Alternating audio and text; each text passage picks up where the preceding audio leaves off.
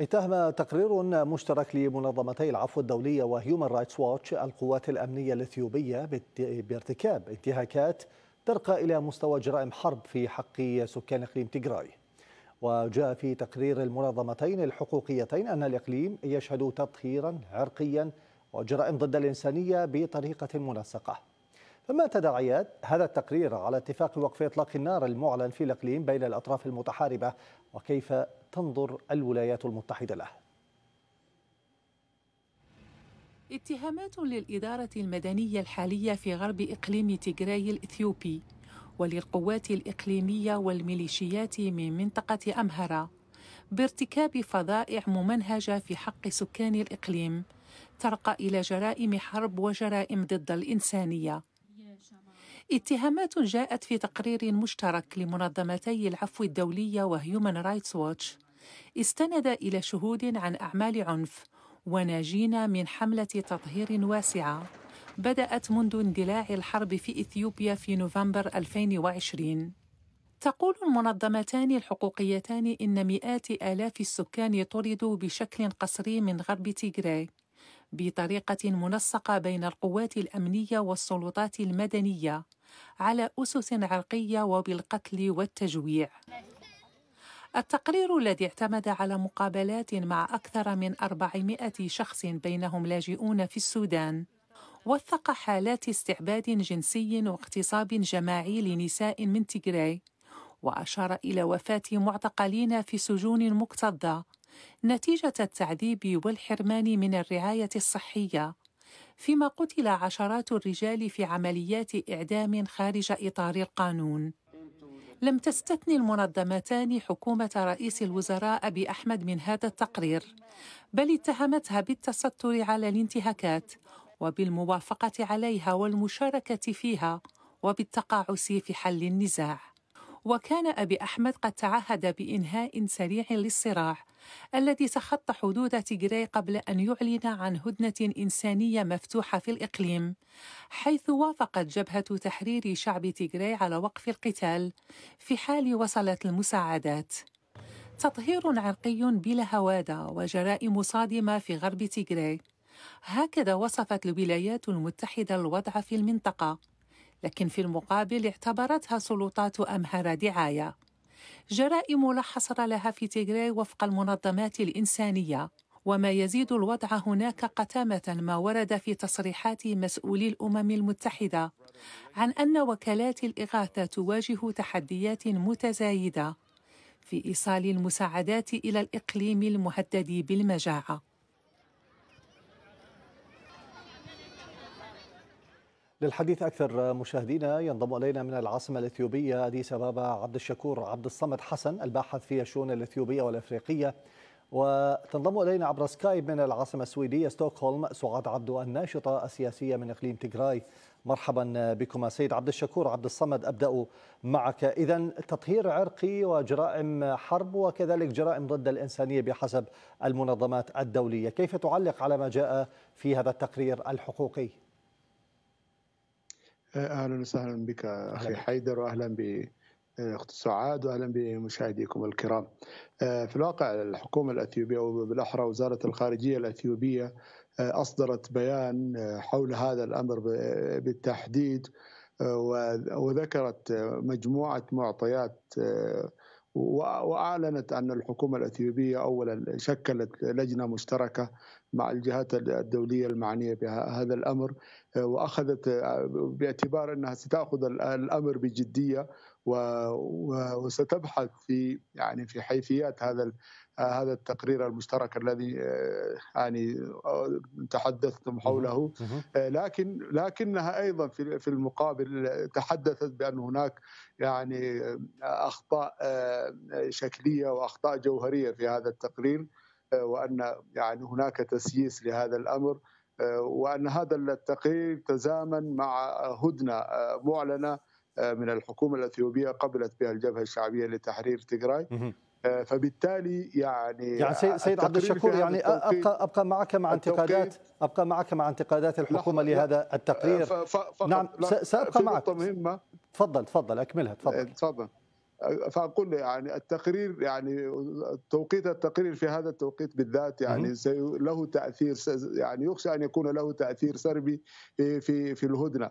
طبعا أنا أقول هذا الأمر مع تعاطفي ويعني ويعني ويعني نعم. الجانب الإنساني ولكن يعني ردا سيد عبد الشكور لو سمحت لي ردا على ما قالته الحكومة الإثيوبية في هذا البيان اللي ذكرت حضرتك. يعني منظمة العفو الدولية هيومن رايتس ووش تتحدث عن آليات الحصول على هذه المعلومات التي تم يعني كما قلت قبل قليل التشكيك بها أو أن هناك ربما تسييس من خلال هذا التقرير. 15 شهرا بحث لهاتين المنظمتين في هذا الموضوع. هناك مقابلات مع أكثر من 400 شخص بينهم لاجئون في السودان. هذا كله توثيق لم يؤخذ بنظر الاعتبار من قبل الحكومة الإثيوبية؟ الحكومة الإثيوبية أعلنت أنها تأخذ الأمر بجدية وأنها شكلت شكلت فريق مشترك إثيوبي مع مع جهات معنية بالأمم المتحدة لمناقشة هذا الأمر ومعاقبة المسؤولين. ويعني والبيان ذكر بأنه يعني هذه أعمال يعني يعني فردية نعم. يعني القائمون عليها القائمون بها سيقدمون إلى طيب. المحاسبة والمعاقبه فبالتالي يعني أعلنت أنها يعني لا تلغي آه، الفرضية اطلاقا آه، ولكن أيضا أشارت إلى بعض المعطيات التي يجب آه، يعني أخذها في الاعتبار. واضح واضح. أذهب إلى ستوكهولم سيدة سعاد عبدو الناشطة السياسية من إقليم تجراي هل يكفي سيدة سعاد ما استمعت إليه بأنه قد تكون هذه الأفعال فردية وأن من قام بها سيقدم إلى المحاكمة كما تقول الحكومة الإثيوبية؟ أولا أهلا بك أخ حيدر وبضيفك وكل المتابعين وكل عام وأنتم بخير. وأنتم بخير. لهذا الشهر الفضيل أنا يؤسفني آه، أن أسمع من الأخ آه، آه، عبد الشكور. يعني كما يقال العذر أقبح من الذنب.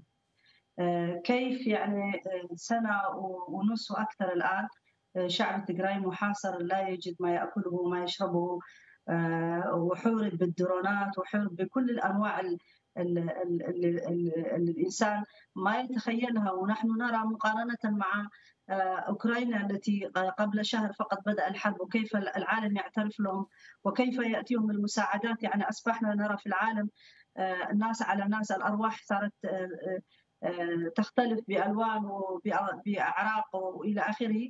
فكيف يعني شعب إثيوبيا أصلا يعني يرف له الجفن وهو شعب تجراي يموت هناك ولا يجد حتى ما يصوم ويفطر عليه ونحن شعب النجاشي نحن أحفاد النجاشي. آه، الإثيوبيين المسلمين الذين يذهبون إلى بلاد مختلفة آه، يأخذون مساعدات باسم النجاشي وهو النجاشي في طيب, طيب ما المشكلة سيدة سعاد؟ كما قال ضيفي بان بأن هناك دعوات للتحقيق يعني آه، لا تنفي الحكومة الإثيوبية وقوع انتهاكات وتقول بأنه من يثبت تورطه بما جرى وما تم توثيقه من قبل هاتين المنظمتين سيقدم للمحاكمة. ما الضرر في ذلك؟ لا لا ضرر لكن هذا هذا الاعتراف كان من من زمان يعني ليس ليس جديد. أبي أحمد اعترف بنفسه ماذا فعل في تجراي وكيف آه، آه، قتل الناس؟ وكيف اغتصب النساء؟ هو بلسانه اعترف نحن نحن نحتاج إلى إلى عمل. ما ينفعنا سنه ما الذي ما الذي عطل العمل برأيك سيدة سعاد؟ ما الذي عطل العمل إذا إذا تم الاعتراف في السابق من قبل الحكومة والآن أيضا نعم. هناك اعتراف؟ الذي الذي يرفض المساعدات الذي يمنع أن تدخل المساعدات هو آه، حكومة آه، إريتريا إسياس افورقي آه، الذي حتى أبي أحمد كان يريد أن يأتي للسلام ولكنه يرفض تماما لأنه هو الذي الآن وجيشي في غرب تجراي في حمرة ويمنع الدخول المعونة إلى إلى تجراي أبي أحمد فترة كبيرة جدا منذ فترة كان يريد أن يأتي للحوار ولكنهم يرفضون لأنهم هم آه، الذين الآن تقريبا يتحكموا بإثيوبيا آه، حكومة اسياس افورقي الحكومة الاريتريه وال إيش اسمه يعني يعني تقولين بأنه بأنه أبي أحمد رئيس الحكومة في في إثيوبيا لا يستطيع التأثير على هؤلاء وبالتالي هم عمليا من يعرقلون إيصال المساعدات وتجنيب السكان هناك من كل هذه الانتهاكات؟ نعم حتى أمريكا قالت أيضا يعني الحكومة الإريترية والإريتريين لهم دور كبير في فشل كل الطرق للسلام وفي فشل ان أن تخرج إثيوبيا من هذا المأزق الذي توجد فيه. ف... ف... طيب هذه النقطة سيدة سعاد اسمحي لي أعود بها للسيد عبد الشكور. سيد عبد الشكور هل هذا ضعف هل هذا فشل من قبل الحكومة ل...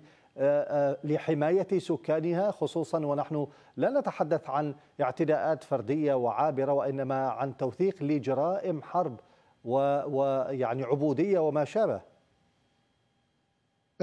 أخي العزيز يعني الأخت سعاد تتحدث بأنه يعني يعني لن يعني قضية إقليم تجراي لن تجد الاهتمام الكافي. وهي وهي من أفضل من يعرف بأن هناك مناطق أخرى شاسعة في إثيوبيا تعاني من أحداث قد تكون يعني مشابهة لكن أيضا لا يتحدث عنها أحد. لكن يعني إقليم تجراي أهل تجراي محظوظون بأن لهم صوتا مسموعا. هذه نقطة. النقطة الأخرى يعني أيضا يعني لا يعني الحكومة الإثيوبية تتحمل المسؤولية وأعلنت أنها يعني تجري يعني تحقيق وتقوم بما يجب. لا ولكن لا, لا, لا نتحدث الآن عن عن التحقيق سيد سيد عبد الشكور. لا نتحدث عن التحقيق لأن هذا الامر لأن هذا الأمر قد تم وأوضحت هذه النقطة. نتحدث عن تورط الاريتريين بمنع المساعدات وبعدم قدرة الحكومة على حماية مواطنيها في هذه المناطق. أنا أقول أخي العزيز يعني هناك أيضا مسؤولية أخرى طرف آخر هو المسؤول. قبل تق... قبل نحو تقريبا تسعة أشهر عندما انسحب الجيش الأثيوبي من إقليم تجراي الجبهة الشعبية لتحرير تجراي لم تستغل الفرصة وتعطي السلام لشعبها وإنما قامت ب يعني باجتياح إقليم عفر ومناطق في في إقليم أمهرة. نعم. وهي أيضا حقيقة ساهمت في هذه المعاناة بصورة أساسية. طيب. هذه نقطة، النقطة الأخرى فيما يتعلق ب... فيما يتعلق فيما يتعلق بإريتريا أعتقد يعني الكل يتحدث والعالم يعني فعلا يعرف هذه الحقيقة لكن الحكومة الأثيوبية أعلنت أن يعني يعني تم يعني حصر مجموعات من ضباط الجيش الأثيوبي والجيش الإريتري وأنهم يعني أحيلوا للمحاكمة. طيب اذا اذا إجراءات تقول يعني سيد عبد الشكور بأن هناك تمت إجراءات بحق هؤلاء. بقي لدي أقل من دقيقة سيدة سعاد. نعم أقل من دقيقة سيدة سعاد ب 30 ثانية ربما. إجراءات نعم كيف تعلقين سيدة سعاد على ما استمعت إليه من ضيفي بأن هناك بالفعل إجراءات تمت سواء بحق ضباط من إثيوبيا أو حتى إريتريين. بنصف دقيقة لو سمحتي. وقتكم ضيق جدا أخي. لا لم لم نرى واقعيا لكن إذا لديه معلومات عن هذا لكن ما ما نعلمه الآن والشعب الإثيوبي بالعموم يتكلم على إنه المشكلة الكبيرة في إثيوبيا كلها هم الغزو الإريتري الذي جاء لإثيوبيا وين دعي أن يدخل ولكنه عمل جرائم في كل مكان. الذي يتكلم عنه عبد الشكور نعم. الاريتريين قتلوا الاورومو قتلوا الأمهرة قتلوا العفار العفر. وبعدين صار يقول إنه الجبهة الشعبية هي التي فعلت. وهذا مش صحيح. مش صحيح. فبالتالي نحن أمام مشكلة كبيرة مع إسياس أفورقي الذي يتدخل في السودان وفي اليمن وفي كينيا وفي كل المكان. فلازم يعني يتوقف هذا العدوان. الذي جاء من قبل الإريتريين لأن الإثيوبيين. ممكن كانوا يحلوا مشكلتهم مع بعض لولا إنه يتدخل أيضا شكرا جزيلا. العدو الإريتري. شكرا جزيلا على هذه المشاركة من العاصمة الإثيوبية أديس أبابا. عبد الشكور عبد الصمد حسن الباحث بالشؤون الإثيوبية والإفريقية. ومن العاصمة السويدية ستوكهولم سعاد عبدو الناشطة السياسية من إقليم تيغراي. شكرا لكما. نتابع النقاش مشاهدينا في هذا الملف حول الانتهاكات في إثيوبيا معنا من واشنطن ديفيد شين السفير الأمريكي السابق لدى إثيوبيا. السيد سفير مرحبا بك معنا. الولايات المتحدة وعلى لسان المتحدث باسم الخارجية الأمريكية نيد برايس قال نشعر بقلق كبير حيال ما تم نشره من هيومن رايتس ووتش ومنظمة العفو الدولية حول انتهاكات كبيرة تحصل في إقليم تيغراي هل هناك أي خطوات أمريكية نتوقعها حيال ما ورد في هذا التقرير؟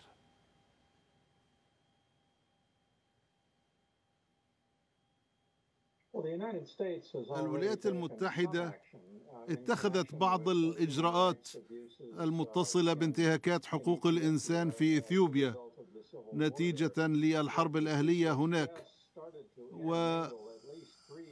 والضيف تحدث عن ثلاثة قضايا. مسألة هيومن رايتس واتش وامنستي انترناشونال ومزاعم التطهير العرقي في تيغري ثم المساعدات الإنسانية لمنطقة تيغري وأيضا دور القوات الإريترية و ولكن التقرير من امنستي انترناشونال وهيومن رايتس واتش ركز على التطهير العرقي في تيغري والولايات المتحدة أدانت بشكل فعال هذا في عدة مناسبات آخرها بالأمس وهي قلقة جدا بشأن كل انتهاكات حقوق الإنسان في إثيوبيا وهذه حدثت أيضا خارج منطقة تيغري. كانت هناك انتهاكات ضد الأمهرة والأفوارة ومجتمعات أخرى ليس لها علاقة بالحرب في تيغري. أنا أعتقد أن الولايات المتحدة بالتأكيد ستتخذ إجراءات إضافية لو هذه الفظائع لو لم تنتهي. هذا التقرير مبني على مقابلات بدأت في ديسمبر 2020 واستمرت حتى مارس من هذا العام. معظم المعلومات هي معلومات قديمة والسؤال الآن هل هذه الفظائع لا تزال مستمرة أم لا؟ إلى جانب هذا السؤال وإلى جانب الإدانة سيد السفير من قبل الولايات المتحدة لما يجري في إثيوبيا هل نتوقع إجراءات تتمثل ربما بفرض عقوبات خصوصا على الجهات التي تعرقل إيصال المساعدات كما قالت ضيفتي قبل قليل من السويد بأن آه، جانب من إريتريا متورط في هذا الأمر.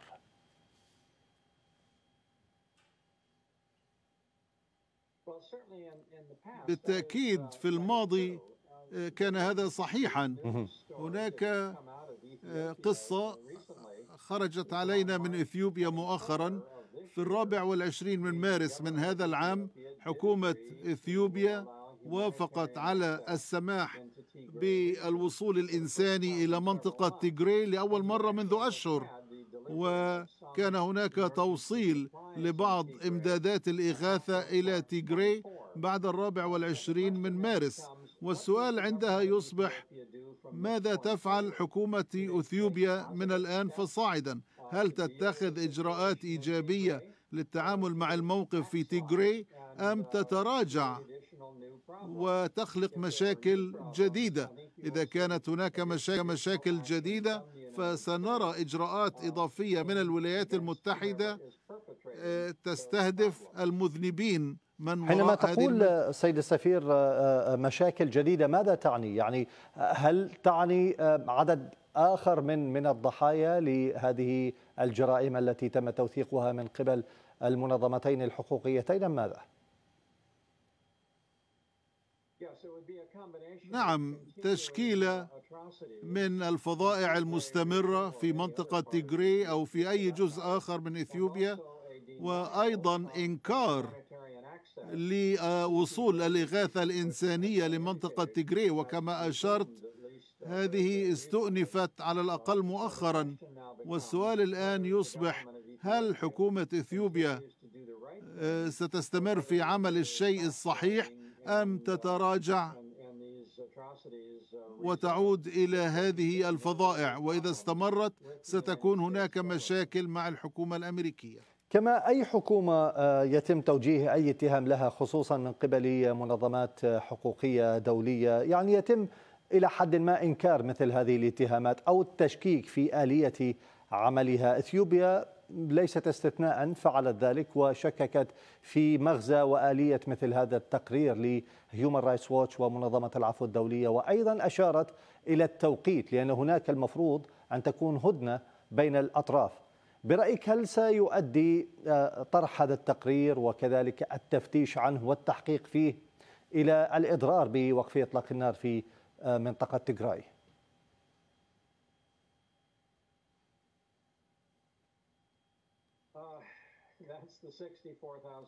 هذا سؤال صعب.